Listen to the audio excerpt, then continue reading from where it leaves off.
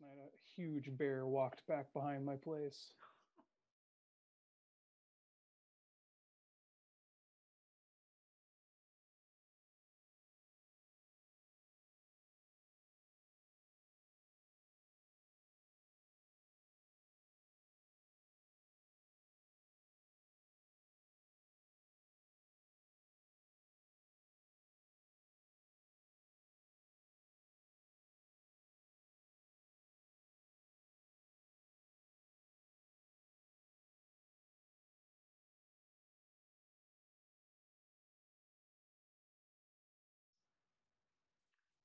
Hello, and welcome to the West Hartford Board of Education Virtual Candidate Debate, sponsored by the League of Women Voters of Greater Hartford and West Hartford Community Interactive.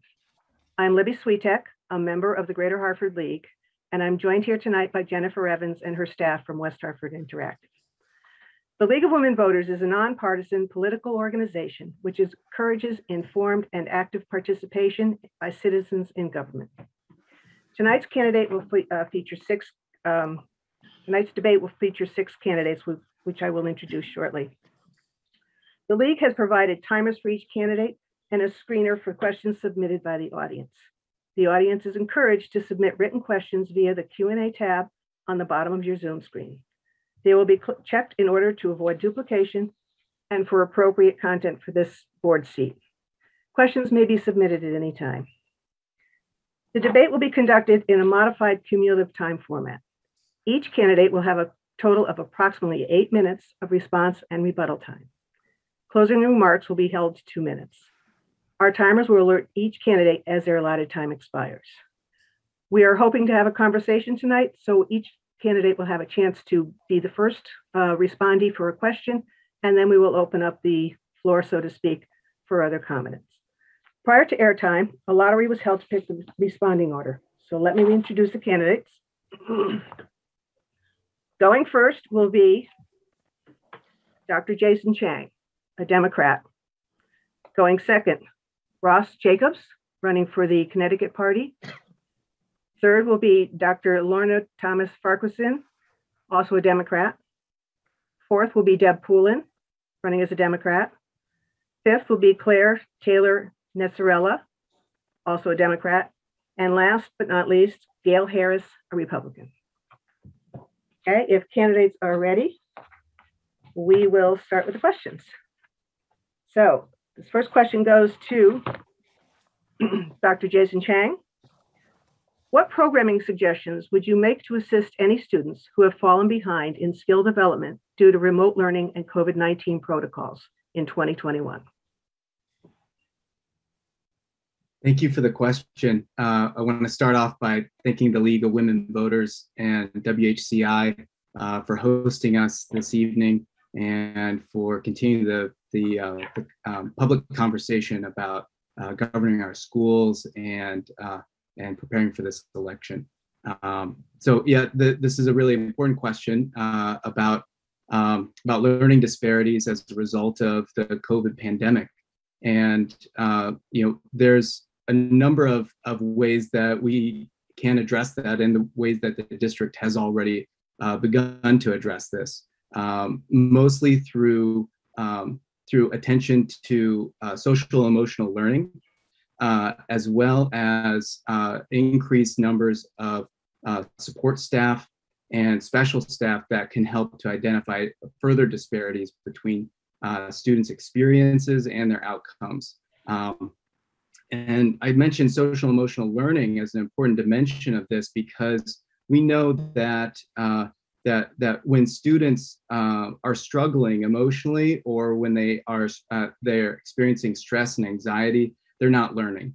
And uh, and so these are important dimensions of the of, of the curriculum that actually you know um, that actually improve uh, learning outcomes and can uh, can address those those those um, those disparities. Um, after school programs are an important dimension, uh, as well as you know, providing uh, parents with the skills and the, the resources to continue learning at home.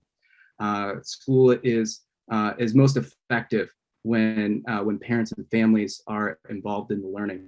And, uh, and that's something I think our district is really good at. Thank you. Would anyone else like to give an opinion? Come on now. All right, Mrs. Taylor, Ms. Zarella. Um, yeah, uh, to add to Jason's, I think the social emotional is very important, but uh, you, it's very hard when kids fall behind in certain subject areas. So algebra one can't, students who went through algebra one might not be ready for algebra two, but algebra two still has to be taught. And so an acceleration model where um, teachers look at what are the core elements of the curriculum and what's most essential because we can't go back and reteach things from the other grade, but we need to give kids a foundation to go forward. So I think a, lot of schools across the nation are looking at acceleration to find out what they need to teach so that kids are ready for that current grade level curriculum. Thank you. Anyone else? Ms. Harris. Thank you for the question. Um, I think that the most important thing that we could be doing is to identify uh, where those gaps in knowledge are. Uh, because obviously our kids have suffered for 18 months or so while they uh, have dealt with this COVID pandemic. So I think that um, the first step would be to identify where we need to put dollars and funds. And then the second part um, is obviously trying to solve and find, come up with a solution. Um, I'm a big advocate of, of uh, support staff and uh, tutors and other types of support that students can make up this knowledge gap and, and get back on track with uh, their education. Okay, thank you. Okay, ready for question two. And this will go to um, Mr. Jacobs. What guidance would you as a policymaker give to the superintendent on use of the federal funding received as a result of the COVID relief package that goes to support schools? Thank you very much for the question. Uh, first and foremost, I'd like to thank uh, the League of Women Voters, WHCI, and all the volunteers helping this evening to make this opportunity possible. Um, I think that the board has already taken steps, uh, you know, in this process. The gravitas of what is going on in schools is that our students are two years removed from a typical school year experience.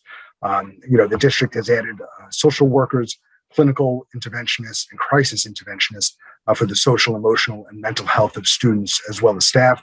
Uh, the district has expanded the ESOL summer program to help students who need to make up credits or failed our cl- uh, failed classes.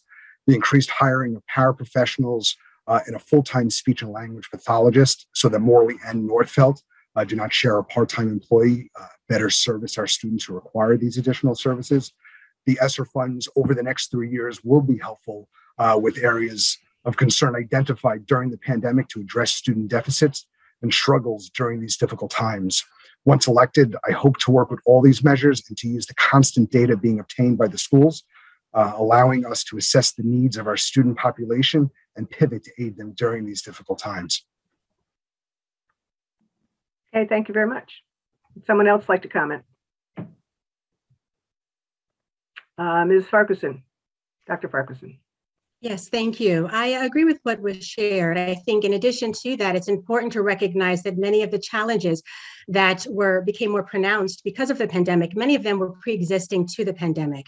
So I think having the mindset of being proactive and addressing those challenges also recognizes the, the means or the need rather to address those that were pre-existing to the pandemic and to try to implement long-standing uh, changes that are sustainable and it can improve changes for all. Uh, and certainly the funding will support that, but I think the mindset as well is important to make those changes moving forward. Thank you. Are there specific um, programs or, or um, curriculum that should be um, addressed using this money? Ms. Polun? I, I will also add in um, my thank you to the league and to West Hartford Community Interactive for hosting this event this evening. I'll add in, um, in addition to what has already been stated, we have developed a comprehensive approach to helping people get back on track, our students and our staff get back on track after what's been a really challenging 18 months. And one of the pieces that I'd like to bring forward is engagement in our schools, student activities, including sports and other clubs, are so important so that students begin to feel again that the school is their community. And that's why, as a board, and this is something that I've been hoping to do for the last several years, we were able to eliminate activity fees and pay to play fees for the next couple of years using the federal funds to try to eliminate any barriers that students have to participating in any of the activities at school. We really want our kids to get back into the swing of things, to get back with their friends, get back into their hobbies. Physical activity is so important for their social emotional well-being as well and as well for their learning and those are some of the ways that we've tried to think comprehensively in addition to academic support and social emotional learning to try to get everybody back on track Thank you. Okay, we'll move on. What are your priorities for educating West Hartford students? And this question goes to Dr. Thomas Farquharson. Thank you so much, and we'll echo the appreciation to the League of Women Voters and WHCI for hosting this event. And certainly, Libby, thank you for your facilitation. I think what's important in terms of educating our youth, uh, it's important how we define that. And I think that certainly there is learning that takes place within the classroom. Certainly, we have our, our subject matters. Certainly, we have our social um, uh, related matters in terms of life outside of the classroom. But one of the pieces that I often speak about is wanting to recognize the value of learning taking place outside, beyond rather, the walls of the classroom. And I think for that, that's why it certainly is a holistic approach with the learning. We have the teachers who are in the classroom, but certainly having the family engagement is very, very important. So the learning can continue within the home dwelling as well. One of the things we're very proud of with our school system is the effort and the importance that's put into place with the teachers and with the educational staff collaborating with the family, collaborating with the caregivers, however that may defi- be defined. It's not always a mom and a dad. It may be someone else who is raising and has a strong influence on that child. It's important that they are part of the learning process as well. But then it also extends even beyond that. Neighbors, community partners, persons who are working in the store, they also play a role in the learning of our young people. So I think when we recognize that holistic approach of the learning, that yes, we do have our school hours where it formally takes place, but it continues thereafter as well.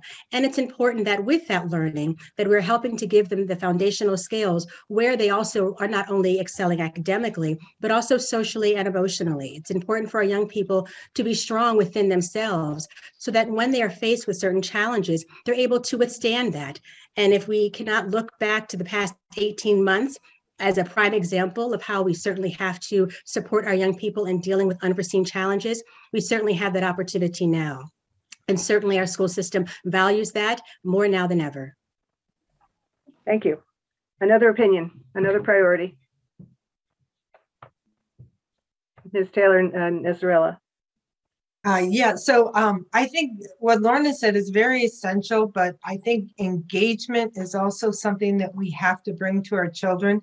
It's been a very tough year for many to stay engaged. And where we can bring in civic engagement, social um, social justice, um, civic engagement, service learning, projects and opportunities where you blend subjects together, where a kid could write for a purpose, can research for a purpose, and then take action with purpose. And um, our world is not so siloed when we get out of school. We mix all the subjects together in our jobs. And I think when you give kids that opportunity to mix the subjects and not keep them so separate, you build uh, excitement about learning and you empower the kids to feel like they can make a difference. Thank you very much. Libby, I have a related question here that someone wrote in.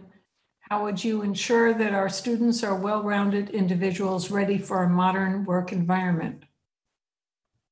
Thank you. Um, and that, that kind of ties in with the question I was going to go to next, um, which is what needs to be done in technology so students will be well prepared for the future. Um, Ms. Polun, you're up next.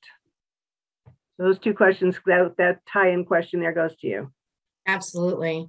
So we actually, um, over the last couple of years, have developed a computer science curriculum from K through 12, which puts us ahead of a lot of school districts. Many school districts across the country have computer science offered in high school. But what we've done is develop a curriculum so that we can embed technology skills into all of our learning across every um, every grade in our district. That is really going to help our students learn how to integrate technology into their lives We also have ensured that students have access to laptops uh, during the pandemic when we had remote learning. We also ensured that students had access to Wi-Fi as well, which a lot of people do not have, unfortunately, in their homes. So those are some of the ways that we're integrating technology. As far as making sure that they're well-rounded, we do offer a very broad curriculum. And what we're really trying to do is we're creating the next generation of leaders. We're creating the next citizens of the world. And so we need to make sure that students are well-rounded and do understand how the world works, are able to communicate with each other, uh, whether they agree or disagree with their peers and their teachers, to learn how to have conversations, have a love of learning and a curiosity for learning so that we are well set um, in this country with our next generation. Okay. Yeah, Ms. Ms. Harris, excuse me. All right, thank you.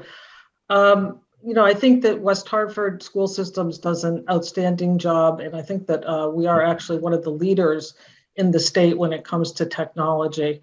Uh, it's almost impossible to do anything today without having a ability to uh, work with technology, and I think that that has to be part of the curriculum and part of the school system.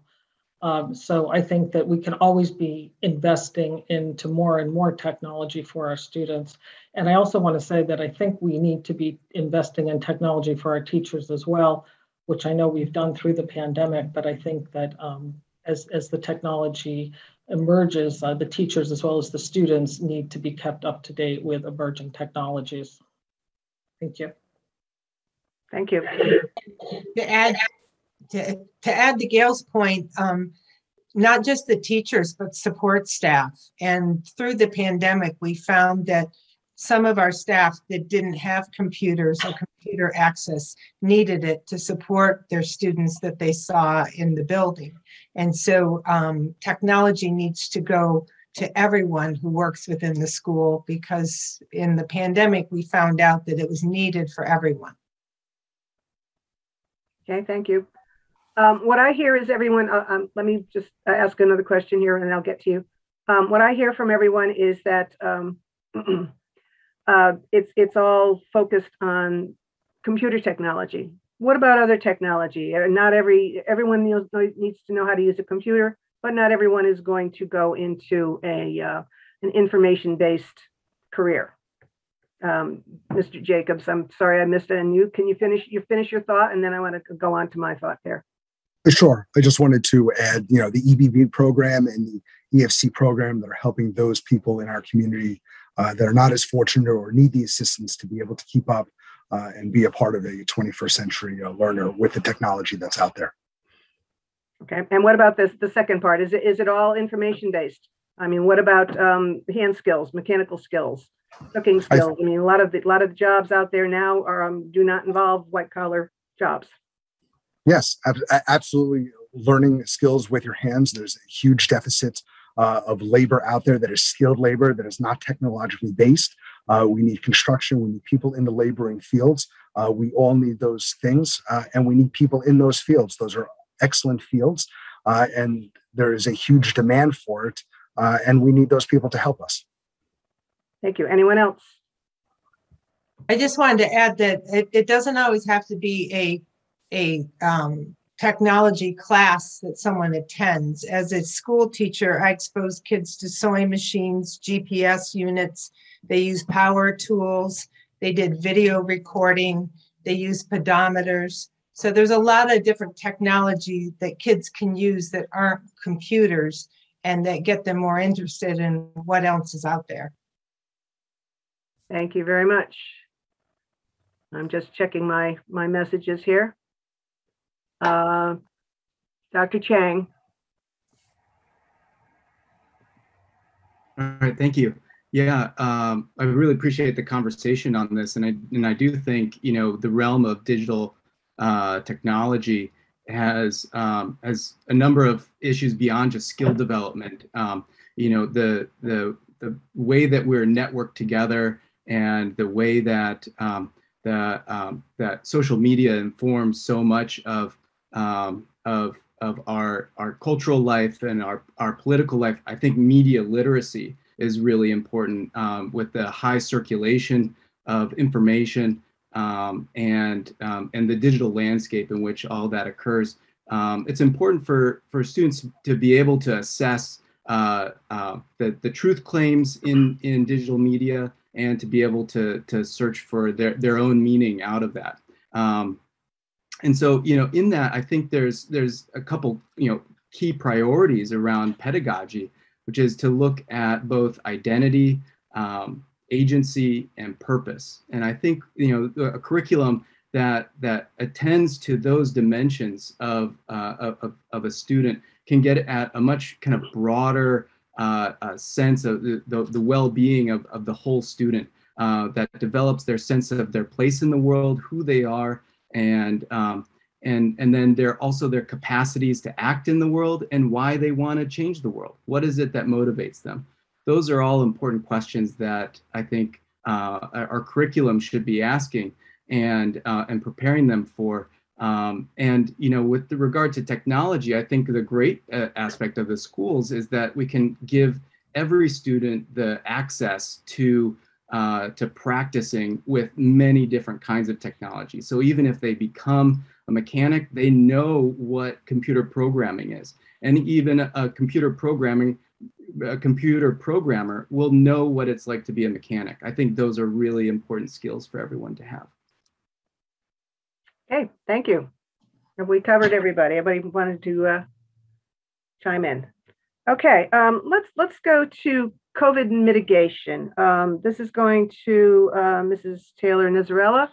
Um, your opinion on mask mandates, uh, COVID testing, um, all the safety measures that um, we have been putting up with uh, uh, quarantining, um, just in general, how are we handling COVID and do you agree?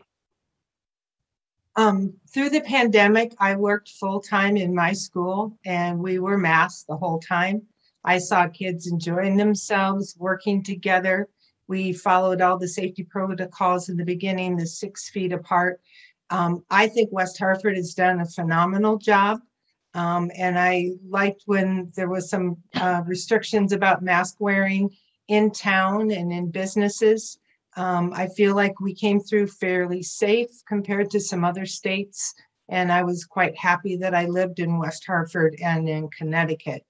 Um, right now, it's scary with the the new um, variant and with our youngest kids not being vaccinated. I'm now in a school with pre-K to fifth grade students every day. Um, and some kids have difficulty keeping the mask up, but in general, our three and four year olds are wearing their mask. Um, they're having fun, they're playing, they get the breaks outside. Um, and you know, we we are coping with it. Um, I do hope that more people get vaccinated. I think that will get us to a safer place. Um, and I was glad that my daughter was old enough to be vaccinated. Um, and I'm hoping that the booster is available as well. So um, I'm very happy with how the mayor um, led us through this and the decisions that our governor made, and happy to comply in my school building. Libby, I have some related questions here about not only masking, but mandating what people think about mandating the vaccine or weekly testing of staff. Good questions. Um, Ms. Taylor, can you continue or somebody else want to chime in? Um, yeah, I there's some staff that I work with and they're concerned because as of Monday, um, if they do not show a negative test, they have to go home until a negative test can be shown. And um, I feel, especially in my elementary school with all the kids and the staff that I work with, that it's important to um, ask people to either show that they don't have COVID or get the vaccine to protect themselves and others. So I am I'm for the mandated uh, testing for people who opt to not be vaccinated. Anyone else? Mr. Jacobs, we haven't heard from you in a while. How are you? The, you know, these mandates come from the governor and our town manager. Uh, as a Board of Ed member, it's our duty to uphold these mandates. However, we need to continually assess our situation so that we can hopefully revisit these decisions. You know, keeping our kids in school is our number one priority, and if wearing masks is what it takes, then that is what we need to do. Okay, thank you. We'll move on to another question. Um, we are on to, uh, Ms. Ms. Harris. Um, what is your opinion on teaching the history of race relations in the United States to Connecticut students? Thank you for that question. Um, I think it's important that we teach all of US history to our students. Um, I think we have to teach the good, the bad, the ugly. Um, and I have, uh, hopefully all of our students are learning all of the history that they can. Obviously, there's a limited amount of time in any class and we're not going to be able to review every single event that occurred. Uh, but I do feel that um, there has to be a balanced and fair approach to US history, um, including all of the things that have happened uh, that are good and bad. And um, and I, I think that you know we should be teaching all aspects of US history to all of our students. Thank you. Another- Another opinion, please. Ms. Thomas Farquharson. Yes, um, thank you for the question, and I appreciate hearing uh, uh, Dr. Harris's response. And I, I agree that certainly having a holistic uh, approach in educating our, our young people uh, regarding American history is certainly important. And that does certainly acknowledge the unfortunate reality that that has not always been the case. Um, and so, with there being attention to having a broad, true, keeping it real perspective of American history and all that it entails, and in all that it took the pain and the pleasure that it took to progress to where we are, I think only betters our young people. It's important for them to understand the past, for them to truly understand where we are now in the present. And that will make them even more uh, uh, prolific moving forward into the future. I think when we take away that opportunity to have a, a well rounded approach in terms of the past, the present, the future, we're limiting their educational opportunities. And that's not what we stand for in West Hartford. So I very much think that acknowledging all aspects of American history and all of those persons who played an instrumental role in contributing to American history certainly is the way to inform our young people now and in the future. Thank you. Uh, Dr. Chang, I see you have your hand up. All right, thank you. Um, yeah, this is something I've spent my career uh, working on, and you know, uh, but what, what I want to share is why I value it. Um, you, you, know, a lot of times when when we think about U.S. history, it gets divided into into categories of like your history and my history.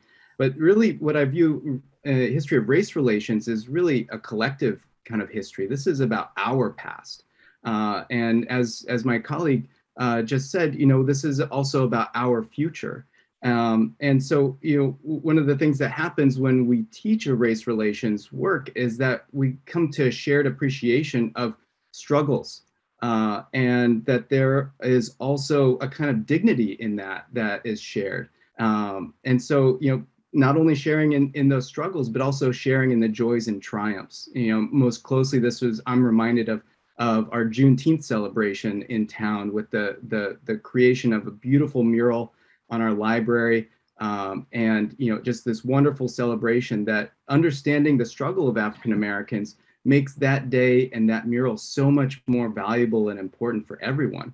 Uh, and so, you know, lastly, this is a really vital kind of uh, it, um, strategy for countering the rise in hate in our country. Uh, we need to replace stereotypes with lived experiences and history can do that. So this is a really important dimension of you know um, violence prevention too. Thank you. Any other comments okay um, we're going we've congratulations everybody has had a chance to answer one question so we're going on the second round um, dr chang you're, you're still up um, let's talk about the infrastructure in town we have a lot of aging buildings uh, should we fix them? Should we consolidate services? Um, there was a question that was brought up in previous debates about uh, consolidating the high schools.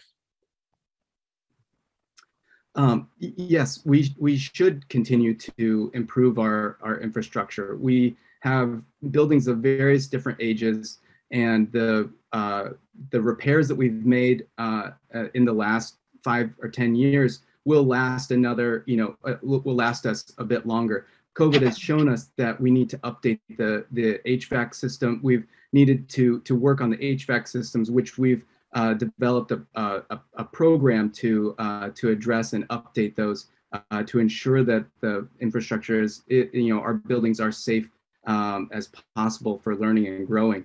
And you know, the um, what we have is, uh, you know, the infrastructure really, it, it- well, it is its own issue. It's about capacity, and our um, our town is growing and we will continue to have to need that capacity to teach the the the, um, the children that are here uh, and so I- i think that um, we need to continue the maintenance of our buildings to maintain the capacity uh, to you know continue the the the kind of uh, school system we have for current residents and future residents Thank you. I see that Ms. Polun has her hand up. Yes, I want to comment specifically on the question about consolidating the high schools. This is something that I do not support, um, and I want to state that outright.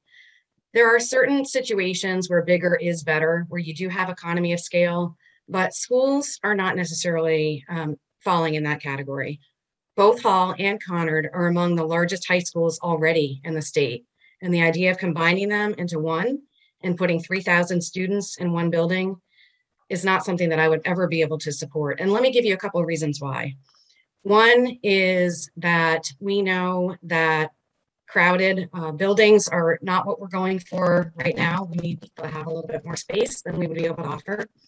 But also importantly, we understand the importance again of extracurricular activities, of participating in band, participating in choir, art, sports, etc. And actually, when you have a combined high school, you have fewer opportunities for students to engage in varsity level sports, for example, or to be the first chair violin. It's just uh, they're competing against so many more people. Right now, we have two high achieving high schools, excellent high schools, which are always ranked among the best high schools in the country, never mind within Connecticut. To combine them into one would necessarily make them not as strong. It's not the kind of thing where adding them together makes it stronger. I believe putting them together would make them weaker. We need to keep them separate. Um, we can improve them both. We continue to look for ways to improve our school system, but consolidating the high schools is not something that I would be able to support. And I appreciate the question. Thank you. Um, I see that Mr. Jacobs has his hand up. Uh, Thank you. So an issue that I'd like to take on regarding capital expenditures is amending or possibly rescinding uh, CSDE policy 52, uh, 50 85-2, I apologize. Uh, This policy lumps one-time expenditures like roof replacements into per- per pupil expenditures and it determines the basic contribution amounts that districts must expend for each special education student uh, before the state begins to reimburse for the student's special education costs. Uh, clearly, we need to work towards a long-term sustainable plan for our future. Okay, thank you. More comment. Uh, I see Ms. Harris has her hand up. Hi, thank you. Um, I just wanted to echo what Deb said. I also um, want to go on record as not supporting consolidation of high schools. Um, I think that would not really be in the benefit of our community. Uh, We've had two high schools for a very long time here, and I think the community actually likes having two high schools where there's a rivalry between the two high schools, there's sporting events between the two high schools. I think also that we would have to seriously consider the cost of uh, taking two high schools and combining it into one, which would probably be exceedingly expensive. um, And where those funds would come from is, is definitely questionable. Um, And again, I, I know this was said, but I just want to repeat, I think it also small, smaller schools offer more opportunity to students than larger schools. And I, I think that that's very important to our children and our students and our community. Thank you. Okay, next question goes to um, Mr. Jacobs. I believe that's correct. Um, as we were talking about infrastructure and combining things, um, what is your opinion of West Hartford class size guidelines?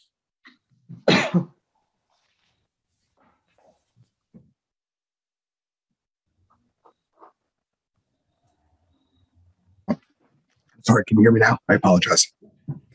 So I think that there's a lot of factors that actually uh, affect what goes on in the classroom. Sometimes there's mitigating factors outside of the classroom as well as inside the classroom. You know, especially at the elementary level, uh, having smaller class sizes for the students uh, is certainly helpful. Obviously, as class sizes sometimes grow as the students are older.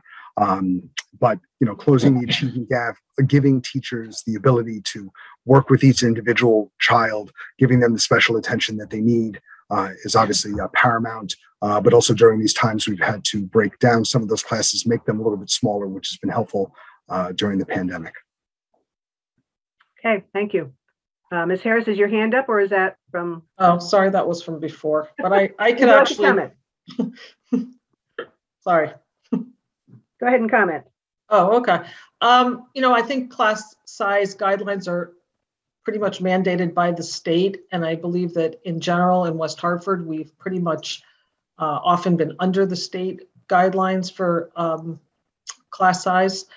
Um, so I think that in terms of what we're doing in the district, I think we're doing a good job. Um, as what as, as far as things like knowledge gap and class size, I, I think that knowledge gap can be a factor of class size, but it can also be a factor of many other things. Um, so, you know, as far as the class size, that we don't have all that much control over it because some of these things are mandated through the state. Okay, thank you. Um, Mrs. Taylor Neseralla. Um, yes, I, I think our guidelines for class size are reasonable. There are towns within the state of Connecticut that are higher. And with the COVID relief, um, we're able to have smaller class sizes. It's around 19 students in the elementary schools. But I wanted to make a point that class size is not as critical as balanced makeup of a class. And administrators that take into account teacher um, feedback about a class can make sure that the classes are fairly balanced. I've had a class of 18 be twice the work of a class of 27. So sometimes when teachers get their classes, it's not necessarily the numbers, but it's the amount of needs and challenges that are in that class. And many administrators will relook at or give support or find a way to help that teacher who just happened to get a bad mix of kids that make their class a lot harder than their other colleagues on the team. Thank you. More comments? Did we do, uh, Ms., uh, uh, Mrs. Thomas Farquharson? Yes, thank you. Dr. I as well appreciate the question. And I think what's important with what we do in our school system is we recognize the importance of balancing quantity with quality. So quantity certainly in terms of this teacher uh, teacher student ratio, but as has been shared, it certainly is important at uh, being aware of the makeup within the classroom in terms of the engagement that's happening. And that's why it, it's so important to recognize the parallel process of learning, not only in terms of the students learning, but also the the teachers as well. As we know, every Wednesday, every Wednesday is a half a day for professional development. And that is something that is very important to our district, where we are not only only focusing on empowering and educating the students, but also the teachers as well, and help where they may want to progress or elevate further. So all of that collectively makes up the culture and the climate within the classroom. And it's important to be aware of all of those entities when looking at challenges, but also being able to recognize the progress and gains that have been made as well. Okay, thank you. Um, Ms. Taylor Neseralla, your hand's still up. Is that an old hand or is that a new hand? Old hand, I'll take it down. You could say something. Um, did we cover the now the knowledge gap? And we were talking, we've been dancing around um, um, problems with with kids falling behind. We've we've talked a little bit about class size and balance. Did, have we covered the knowledge gap? This is continuation of that same question. So let's continue on with the conversation. Somebody like to volunteer, or I can call on someone. Uh, who shall I call on? That would be Ms. Polun. Thank you, Libby. Um, to address uh, the achievement gap, it is unfortunate that we have an achievement gap, which is based on race um, here in West Hartford. We'd like to think that we have erased that. But the data show us that unfortunately we have not. We are making progress. It's steady progress, but it's slow. And for me, it's too slow. And so here are some of the things that we need to do in order to fix that. We know one proven um, method of improving instruction and improving learning is through coaches. And that is where we hire coaches to help our teachers identify things that they're doing well and things that they can be doing better. We have had the opportunity to, to run a pilot program where we hired a math coach at one of the uh, schools in town. And those students in that classroom were able to improve their math scores over and above what other students did. And so we know right here in West Hartford how well the coaching program works. And so with some of the COVID money, we are hiring additional coaches for teachers. And that is one way that we're hoping to reduce again the achievement gap and bring up our students who are falling behind. There are so many different reasons why this gap exists. Um, things that happen outside of our schools are probably the biggest factor there. So again, uh, student engagement, family engagement, which I know my colleague uh, Jason mentioned earlier, is also so important in making sure that families know how to support their students and how to support the schools, and we can work together in partnership to help our students all achieve. Thank you. Uh, Ms. Taylor Neseralla. Yeah, just to add to Deb's um, comment about the coaches, when um, the COVID funds are spent, it's not for full-time employees that can last on into the future.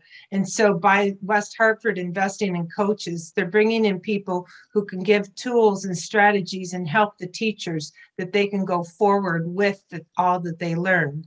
The COVID funds um, can't bring in people that stay with the system. So I think that's a really wise choice to be bringing in people that will give tools and strategies that can go on after they have to leave. Thank you very much. Okay, that just generated another question, which we'll go back to um, Dr. Thomas Farquharson. Um, is staffing adequate? Um, has West Hartford um, had the same problems with hiring that other industries have had during this pandemic? Have people left? Um, do we have the talent? So thank you. Yes, we certainly have the talent, but the reality is we are faced with challenges that other districts have as well, not to the same degree yet saying that, we know that we certainly are actively hiring. If there are individuals who are um, interested in applying to the school system, please certainly do that. We are at a place where we're able to well um, maintain where we are at this time, but it's also important to be proactive in projecting what challenges we may have down the road. The reality is there are many other school districts in our neighboring towns and throughout the state that are having challenges when it comes to hiring staff or even keeping the staff that they have. We recently learned at our most recent board meeting that, that there there are even some school districts that have challenges even maintaining teachers within the classroom. We're not at that point yet, but it still is important for us to be aware of that as it relates to, we've certainly been hearing on the news challenges with uh, bus drivers. We're not at that point yet. However, it is something that we need to be mindful of. So I think we certainly recognize the situational stressor that the pandemic has put onto our district. Um, and fortunately, we are at a place where we're able to maintain, but we also have to be vigilant in making uh, changes, rather making decisions and choices that will help sustain where we are and hopefully improve where we are moving forward as well. Many of our neighboring uh, communities are having challenges, and we have to be empathic to that.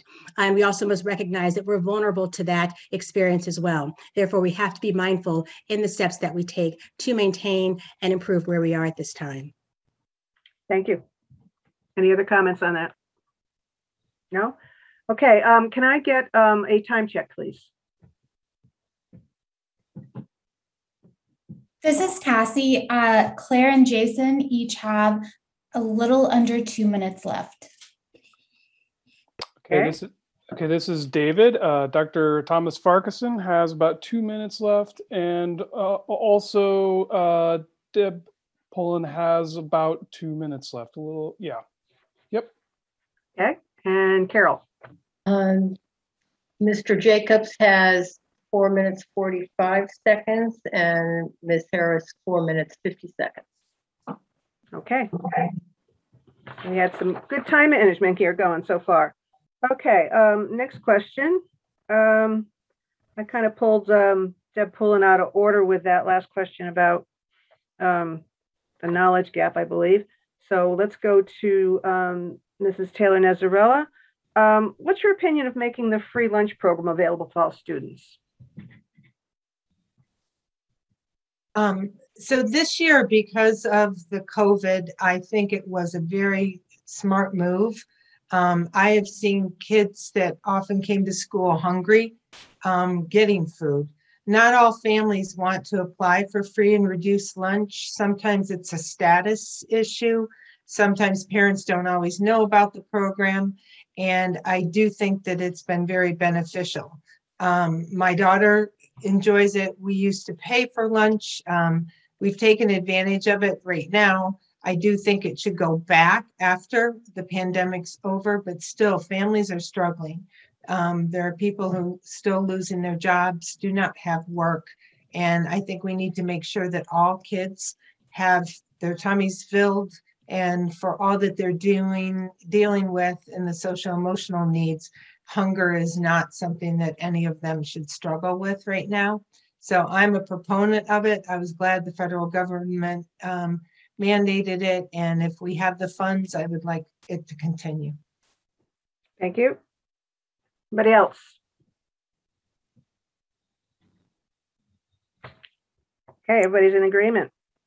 Um, next question will go to um, Ms. Harris. Um, do you have any ideas or, or concerns that haven't been addressed here?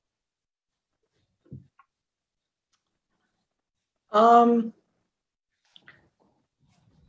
well, I think we've covered a lot of different topics. Um, one one thing that I am concerned about, and I, I can it goes beyond the school system. I think it goes into the town in general is uh, the issues of safety in our town and uh, some of the issues that revolve around safety in our schools.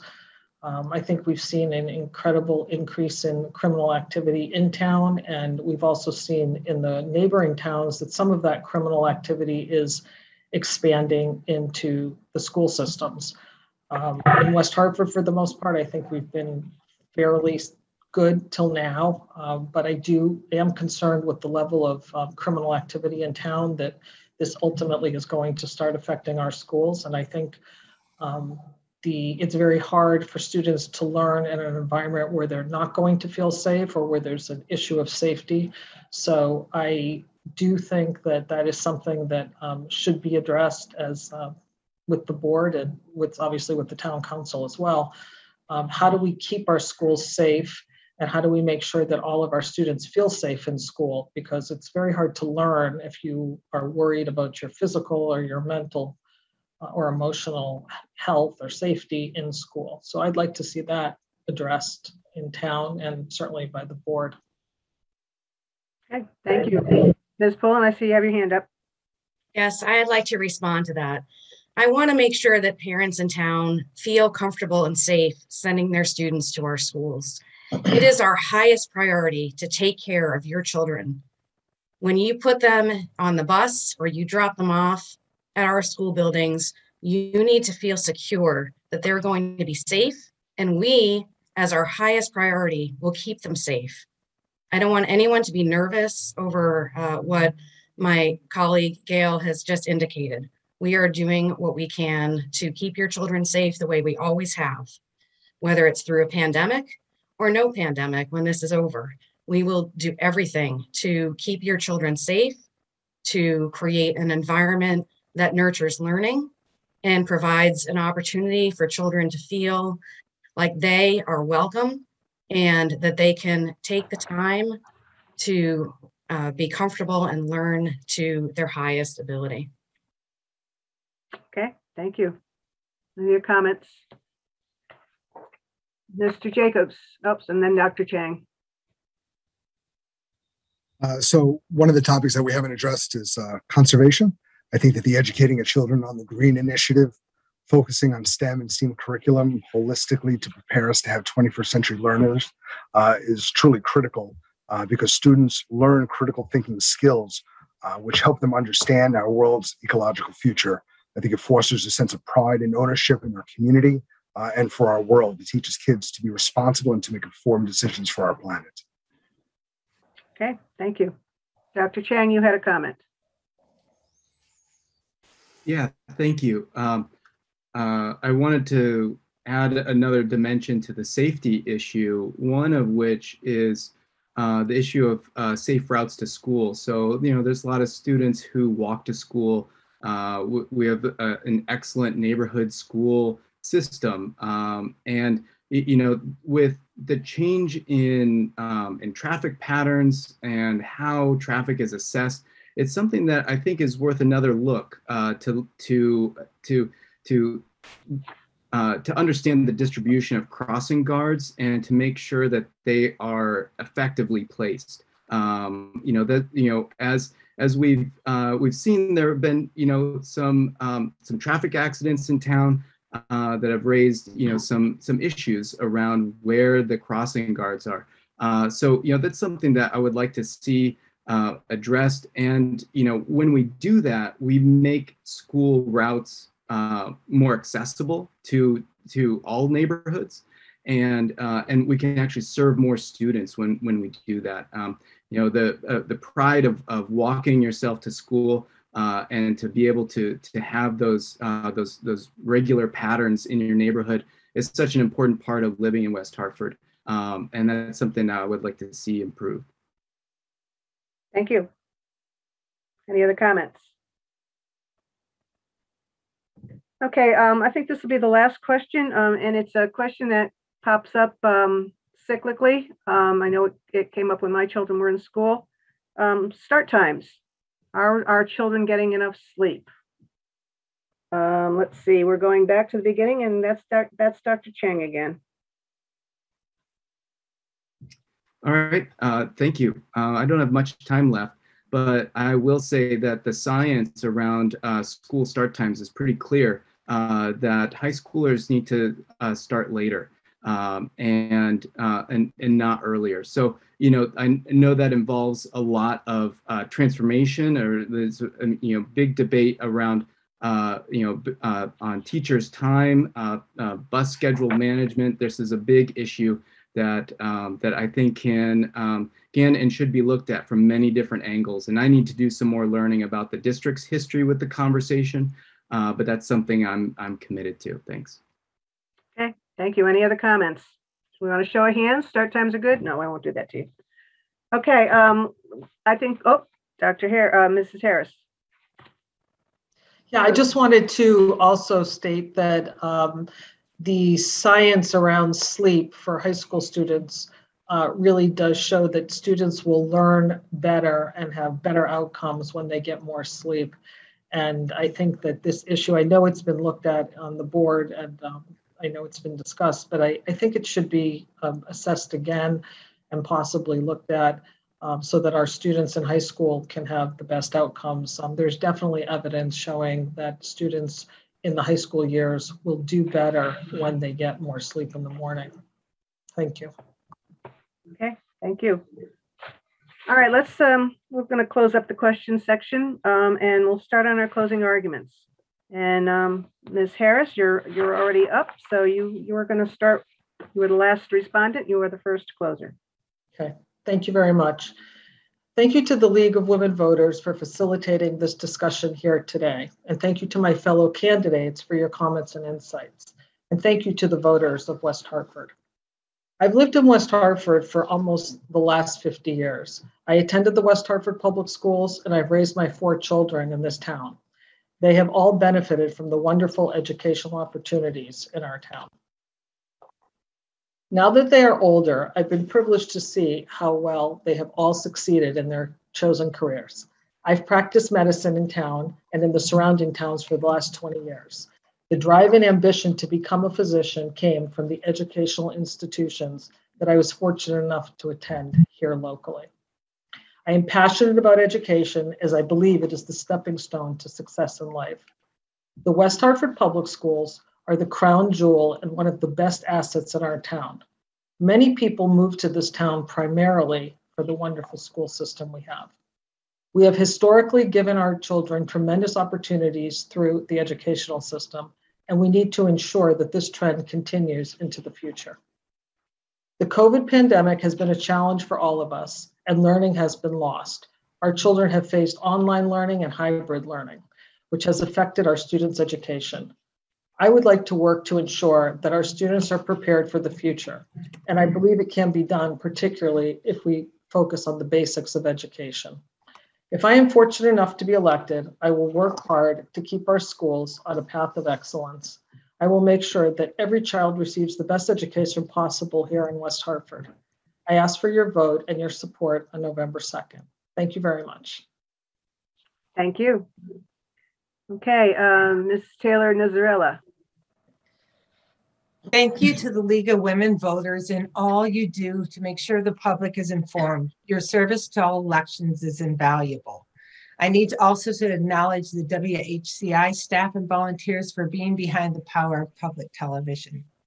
And thank you to all those watching the debates and taking time to learn about the candidates. You're taking your right as a voter seriously. My name is Clare Taylor Neseralla, and I'm asking for your vote for the West Hartford Board of Education. I taught 16 years in West Hartford, and I taught my students about the structure of government and how bills are made. More importantly, they learned how change is made and went before the Board of Ed, the Town Council, and even legislators to propose solutions. West Hartford was an incredible town to start my teaching career. I represented our town and state in Washington, D.C., and traveling globally to Japan and Brazil with teachers from each state, I became aware of the high caliber of our district. As a school teacher for 23 years, I have direct experience with curriculum, special education, technology in the classroom, and initiatives in diversity and inclusion. My mission is to do what is best for the students of West Hartford. I want to help all parents advocate for their children and become active partners in the education process. I believe in the importance of early learning and will advocate for increasing pre-K opportunities. West Hartford can lead and has led in many initiatives. Our national recognition doesn't surprise me after many years of being on both sides of the fence. Throughout the pandemic, I worked with champion teachers who juggled technology and still connected with each one of our students. West Hartford schools navigated the past year and a half with honesty and grace. I'm excited to be running with the Democrats United for West Hartford Schools. Vote row A on November 2nd. Thank you. Thank you very much. Okay, uh, Deb Polun, please. It has truly been an honor serving West Hartford on the Board of Education for the past four years. I have served on the policy committee, as a financial examiner, as vice chair, and I am currently the chair. I've also had the opportunity to hear from so many residents and engage in conversations with people from many different backgrounds and many different perspectives. My time on the board, combined with my professional experience working in nonprofits and at the state legislature, and my perspective as a mom of two kids who went to Aiken, King Philip, and Hall High School, will continue to benefit students and families in our town in the years ahead. We have seen, particularly over the past 18 months, how important it is to have the right people making decisions about our schools in order to provide a safe, nurturing environment that fosters a love of learning. We need people who will listen to others, who think creatively, and who are not afraid to make difficult choices. We also need steady leadership to steer our schools through these difficult times. I'm asking you to vote for me for reelection. And I think you'll find that all of the Democrats running for the Board of Education and for Town Council are the people that you want helping to set the direction for West Hartford now and moving forward. Fulfilling our responsibility to our children and families in the present leads to a stronger West Hartford in the future. I too want to thank the League of Women Voters and WHCI for coordinating and hosting this debate, my fellow candidates for participating, and all of you for watching and taking this opportunity to learn more about each of the candidates for the Board of Education. Thank you in advance for your support, and please remember to vote row A for the Democratic team on November 2nd. Thank you very much. Moving on. Um, Dr. Thomas Farquharson.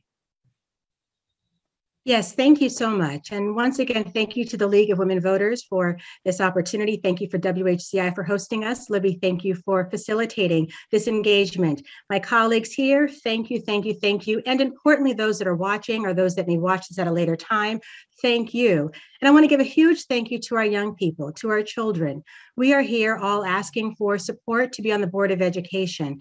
And it has been an honor to serve on the Board of Education for the past four years and the past two years as vice chair. Serving on the board is more than a title.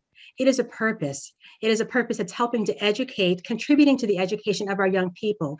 And as we certainly know, our young people of today are going to be our leaders for tomorrow. Therefore, as we work to educate them through the policies that we put in place, through the teacher and support that we support, through the ways that we encourage our young people at home and in the community, we know that we are paving waves for them as they move ahead. As we know, our school motto is clear paths, bright future, no limits. And it's important when we look at the word clear, we're talking about that as a verb. That means ways that we are actively and assertively moving towards supporting our young people as they move forward. Because the foundational years that we have with them now are so important, because again, they're going to be our leaders moving forward into the future.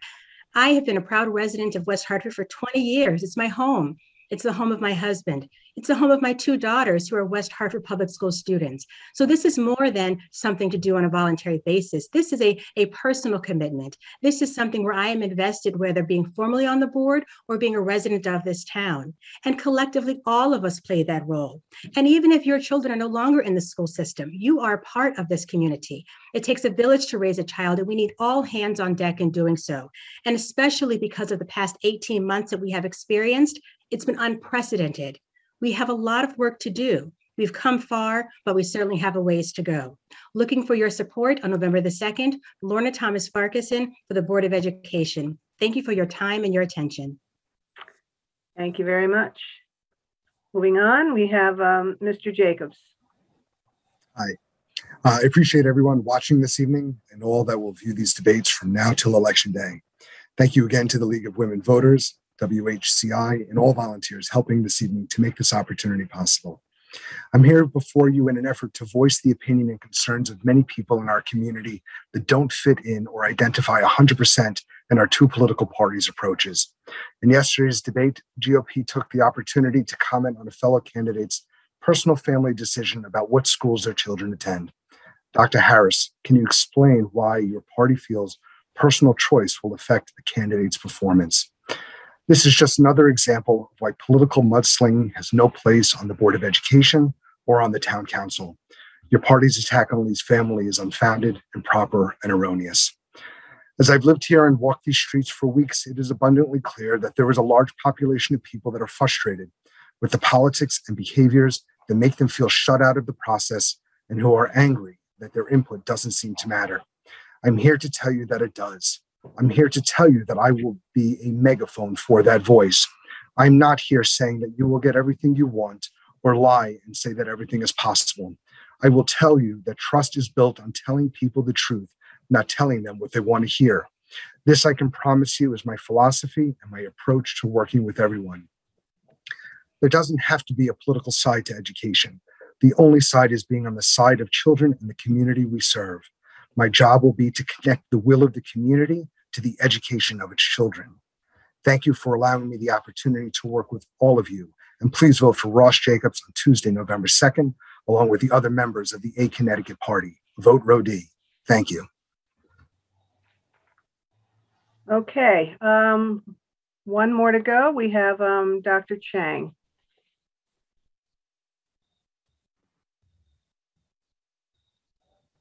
All right, can you hear me? Yes. Okay, thank you. Um, I'm asking for your vote to continue serving on the West Hartford Board of Education. Uh, I parent my three children uh, with my partner Julie, uh, who's the former poet laureate of West Hartford. Uh, our children attend Charter Oak and Sedgwick.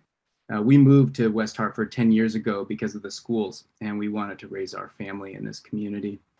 In the summer of 2020, I answered the call to fill a vacant seat on the board at the height of the first surge of the pandemic. And I really thank my uh, colleagues on the board for uh, for nominating me and and for uh, for welcoming me welcoming me into uh, this role. And now I'm seeking your vote. Um, as a university professor of history and Asian American studies and an academic unit administrator, I was honored to join the board to help the district respond to the needs students and families during the pandemic and guide the district's efforts to address equity and anti-racism. My leadership at UConn and in the state more broadly in this area was recognized by the governor as I serve on uh, as a committee co-chair on the state's Hate Crimes Advisory Council. Over the last year, we've made significant policy progress and continue to lead the state in academic outcomes. The pandemic has also shown us that there is a lot of work to do to address disparities in experience and outcomes, and I'm committed to that work. I've used my experience on the board over the last year to work with districts across the state to listen to students, families, and teachers about how to improve the education of the next generation of problem solvers here in West Hartford. When you make your decision to vote this fall, I ask you to consider my experience as an educator, my track record of advocacy, and my proven leadership in policy, programs, and oversight. Thank you very much. Vote row A, please. Thank you very much. Thank you to all the candidates. Thank you to the league members who assisted, and thank you to WHCI. We hope this debate assists you, the voting public, when you go to the polls on November 2nd. Um, we had uh, this Board of Ed debate and four uh, town council uh, debates, and they will all be available on WHCT TV, WHCI, during the month of October and on their YouTube channel. Go to WHCTV.org. Get to know your candidates and please exercise your right to vote. Also, go to the league's new website, vote www.vote411.org to uh, learn more about your candidates. Uh, there, there will be online bios as well as que- uh, answers to questions that they have answered um, online there. You can also find out if you're registered, and if you're not, uh, you can it can assist you to register online. And you can also check the uh, Connecticut Secretary of State website and town registrar sites also have options. Go to myvote.ct.gov slash lookup. Want to thank everybody again, and we'll say good night. Good night. Thank you. Good night.